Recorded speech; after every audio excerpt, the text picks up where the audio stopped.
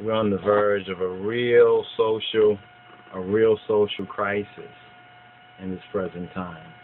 And um, the media, the media for one, and all these kind of so-called fake judges out there, although they think they're real in their world and they're in their post-white supremacist or their post-PTSD, post-traumatic slave disorder society, um, are promoting it some of these fake so-called psychiatrists and psychologists, along with the so-called bouncers and ex-policemen, who are doing these talk shows on TV.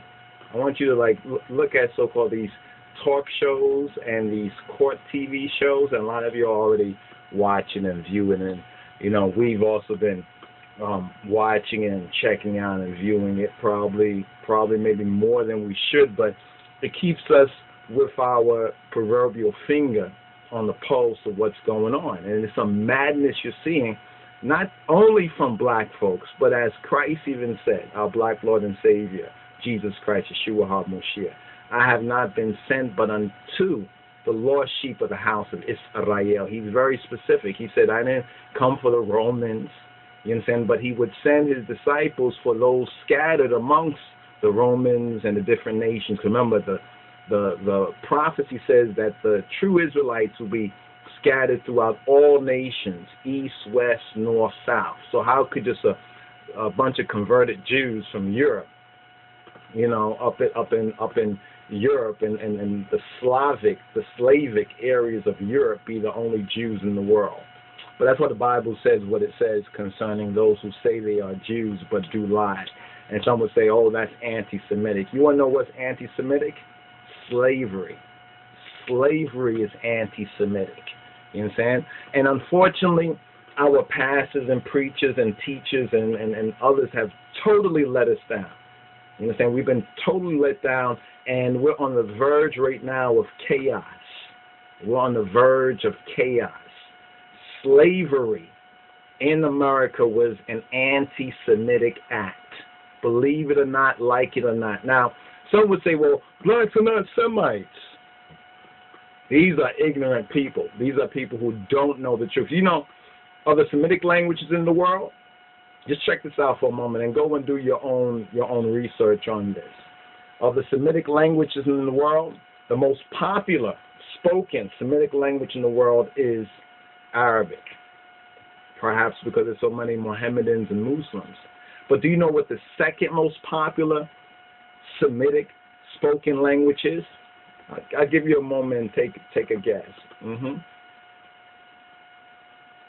What's the second most popular Semitic language in the world? And this is going to be shocking to some, but it's a fact. You understand? And if you don't want to belie Eve or believe me, please, you don't have to. You saying? Just check it out for yourself. It's Amharic. Amharic is the official language of the Empire of Ethiopia, now known as a republic and a democracy, because even those Negroes over there, yes, they're Negroes, because nigger means Ethiopian, Ethiopian means nigger. They're having a problem too, because it's not reserved. This situation that has come down upon earth is not only reserved to so-called the lost sheep over here in the West, although we're in the eye of the storm, as now we have the old black nigger being lined up against a young black nigger. But let's stay on message right here that slavery, slavery in America, the enslavement of the lost sheep was an anti-Semitic act. Was an anti-Semitic act because the proof now of who the black people are, the black people that were sold into slavery in America, is well known and has been well documented. And even though many people will try to deny it because they are deniers and they're liars. Although they try to deny the fact that the lost sheep or black people who were sold into the Americas and the Caribbean are just so-called Africans or just just some wild tribes that they found here and there and he picked them up. No, no, no, no, no. They were the lost sheep of the house of Israel. And Deuteronomy chapter 15, verse 68 will explain the slave ships and that migration. And you can never in your in your life and look at all the history. You can Google it on the on the internet. You can look it up and show me where the so-called white or European converted Khazar Jews fulfill that prophecy. Are they Jews? Well, the religious ones, I guess they are. They converted to a religion they believe in, so forth and so on. But for them to palm themselves off, that's a lie. For them to palm, even Amos 9 and 7 says, Aren't you like the Ethiopians, the children of Ethiopians unto me, O children of Israel? So compares the Ethiopians. But then if you look at the word Ethiopian, the Atlantic, Southern Atlantic Ocean was known as the Ethiopic Ocean during the time of the slave trade. But now they want to call it the transatlantic slave trade when that very ocean was known as the Ethiopic Ocean. And then we'll have further proof that the so-called Negroes were also called Ethiopians. I'm talking about the Negroes that, or the black folks, or the enslaved Africans that came over here. It's like listen to Herman McCain, Herman McCain, excuse me, Herman Cain speak, saying that he prefers to be called Black American other than African American.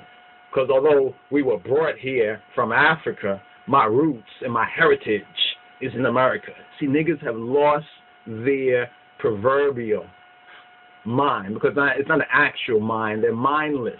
What does he mean? That he, although his he was brought from, or we were brought from, brought from, or some niggas would say, although we come from Africa, we come from. You mean like immigrants? We didn't come over here as immigrants. Why are black folks so afraid to speak the truth? You know what I'm saying? Why are they so afraid to acknowledge the facts? And the more you look at the community and, and black people in America, not the little couple of the celebrities and stars on TV and in the movies and, and the pop singers, see, they keep those people in front of you.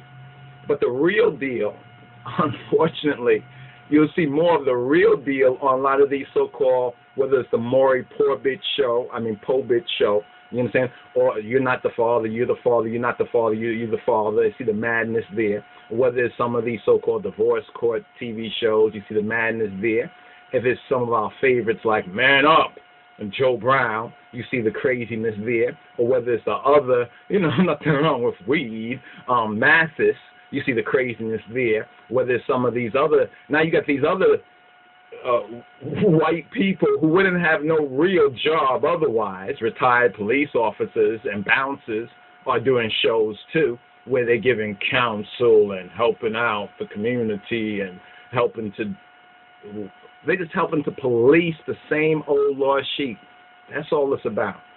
But on the point of our identity, because of that, and see, God says this and, and we can see this madness only in a particular people. You've never seen the degradation of any other race or nationality or tribe or whatever you want to call it, other than among so called Negroes, niggers, blacks, black Americans, African Americans, Afro Americans, Afro Americans, whatever you want to call it, or just colored Americans or Americans who happen to have color and be black, you know, because some don't like no hyphenation. I'm against hyphenation.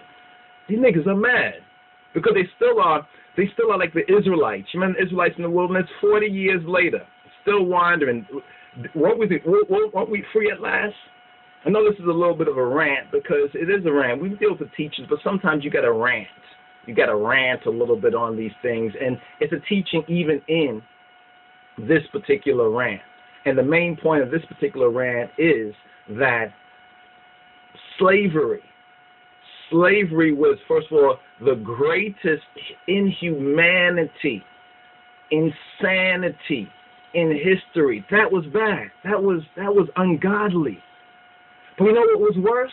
What happened after slavery? that's that's what really was worse. Because think about it to this day, if we start talking about slavery and not seeking to the, they say, oh, that's a blame game, and a lot of blacks want to just blame the white man, blame the white man, so forth and so on, and don't want to man up. They might have something there. They really might have something there. Because if we do what we've learned from the white man, there would just be a whole, there'll be a global revolution. You know what I'm saying? And there'll be blood in the streets. If we were to do what we've learned from the white man. If we were to man up and, in a sense, be um, proverbial white men for a day, that day would be the last day. That that would be the last so-called civil, civilized day on the face of planet Earth. You understand? So one can say, well, black people are a little more merciful. I, I would I would say it, and this was going to be the subject matter of of, of, of another rant, and the subject matter of the other rant was going to be about how black people, especially in America, are some unforgiving Negroes, are some un, especially to other black people. You understand? The white man can come in the community and shoot 41 times or 51 times, and they just go march and nothing will happen, right? A black man steps on another black man's shoe or something like that, he'll turn around and kill him, or they have some argument, and in the middle of the night you'll hear some gunshots and somebody will be dead from that. You understand? Because of some, excuse my language, but some bullshit. You understand? Some real nonsense. The white man will take your house, take your car, will throw you in jail, even though you didn't commit no crime, and do all these other things and still, you have niggas like um, Rodney King come out saying, um, why can't we all just get along? That's a nigga's problem. The nigga's problem want to get along with his oppressor. But the Bible also explains that one of the curses of the lost sheep will be this crazy mentality. You know what I'm saying? Will be this inability to recognize exactly what is in front of our proverbial face. So we come back around to the main subject matter. The main subject matter is that U.S. slavery, slavery in America, was anti Semitic, was an act of great injustice and anti Semitic. Now, to those folks, because there's some people out there that will say, you know, some of you black people and black consciousness, Afrocentricity, whatever like that, you always are blaming the white man, always blaming the white man and you're always going in the past, talking about what happened. That wasn't you. You understand? That wasn't, you know, most black people in America are no more than maybe a generation at at at least or two.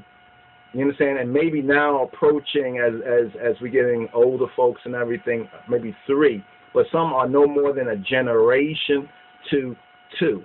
You understand? Away from the cotton fields, the plantation, and from Maas's hand before we were emancipated. Look at emancipation for a moment. First of all, look at the so-called, the converted Jews in the Holocaust. Imagine saying to the Jews, you know, because you have Jews who are younger Jews who never went through the uh, um, Holocaust. They never experienced Nazi Germany. And they even are writing books and talking about the injustice of the Holocaust, what they learned from the Holocaust, how this should never happen again to them mainly. But as soon as a black man or a black woman begins to articulate on slavery and the aftermath and the fact that nothing really has changed besides the chains that bind the Negroes in America. And what's worse yet is when any black person picks up this document. Check this out. Mm-hmm. This particular document right here, which is known as Let's Make a Slave. You got some Negroes that would say this is not even real. They would say that this is not real, even though everything you read in this, though it was allegedly um, based on what was said in events that occurred in 1712 is still manifest today. And this document says, and, and, and, let me just quote this document says by a slave master named Willie Lynch. He could probably be the president. The Republicans want somebody like that, huh? In my bag here, I have a foolproof. That means any old idiot white person could do this. You understand? I have a foolproof method for controlling your black slaves. I guarantee every one of you, if that if installed correctly, it will control the slaves for at least 300 years. For at least 300 years. You know what's so kind of interesting about this? Do you know, my people? I, am just recognizing this too just now. Oh, Jah, Rastafari.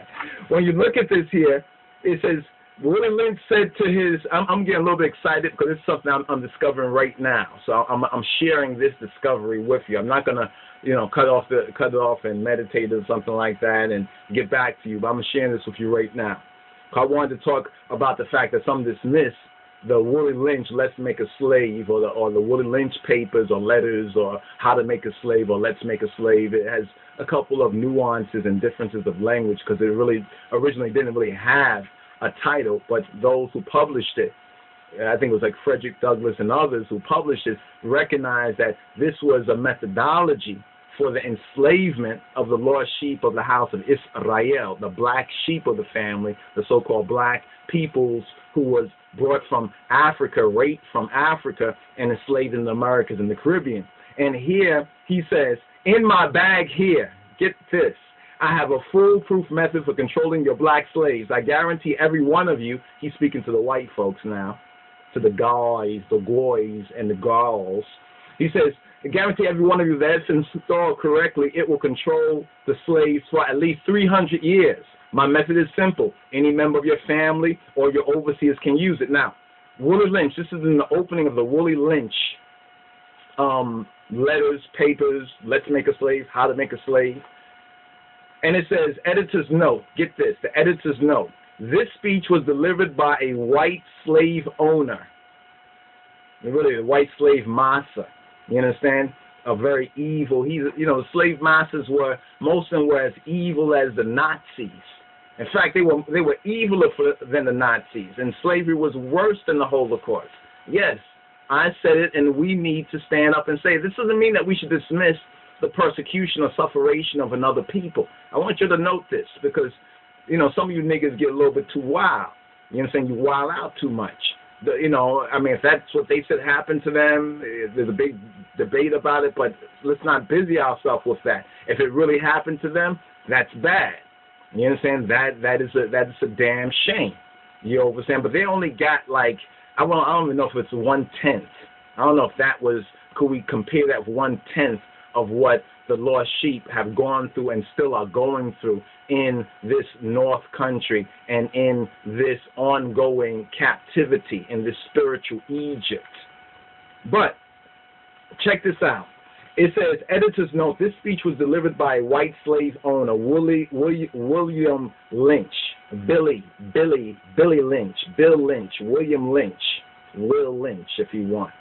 On the banks of the James River, Remember Queen Elizabeth, bitch, witch, whatever, the Queen, you understand? She came over here from England.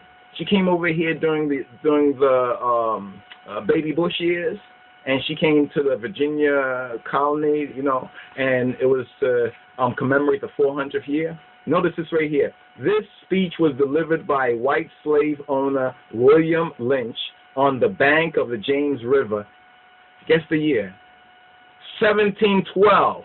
What did Willie Lynch say? He said right here, and I quote, I guarantee every one of you that if installed correctly, this slave making, breaking, man breaking, black man, black woman breaking, and slave making, that if installed correctly, it will control the slaves for at least 300 years.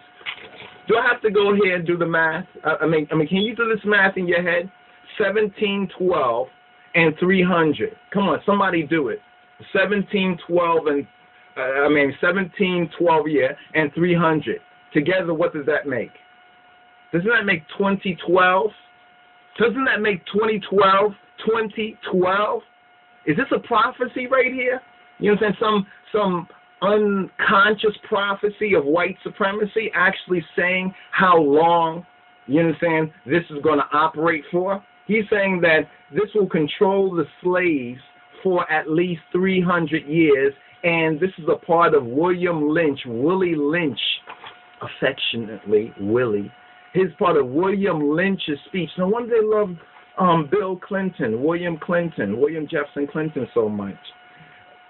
It, it was delivered in 1712. 1712 on the banks of the James River, and that's in the Virginia, Virginia, the Virgin, Virgin Babylon, the virgin daughter of Babylon, of Great Britannia. And here it says that this methodology will control the slaves for at least 300 years, and it was delivered in 1712. And that means that when he said this, he must have put it together like 300 years from now will be 2012. He might not have known. I don't think he knew the significance of 2012, but he said it and now we're in 2011, and we're on the verge, if if it continues its, its trajectory, of the old black male versus the young black male. And this is said on this page. Don't forget you must pitch the old black versus the young black male and the young black male against the old black male. You must use the dark skinned slaves versus the light skinned slaves. And you know what? Can't niggas read? I mean, can't black people read? I mean, what is, see, this is what we mean by the Bible says it correctly that there's a curse you understand? On this people. There's a curse on this people who refuse to hear and refuse to heed. I mean, even if they don't so called believe things like this, why don't they know their own experience? Why can't they recognize their own experience? My people, my Hebrews, you understand? And and and and and my nigger Jews, my black Jews, my my fellow black Hebrews. This is interesting. This is very very interesting. I I, I really wonder. I really wonder how many people have put this together. Yeah, I, I I'm not trying to take. I'm the first to put this together, but I'm happy somebody put this together. So 2012 is significant because 2012 is the end date, even prophesied by the great slave master instructor himself, Willie Lynch. Something to really make you go, hmm, but something to make you do. Do you know what you got to do now?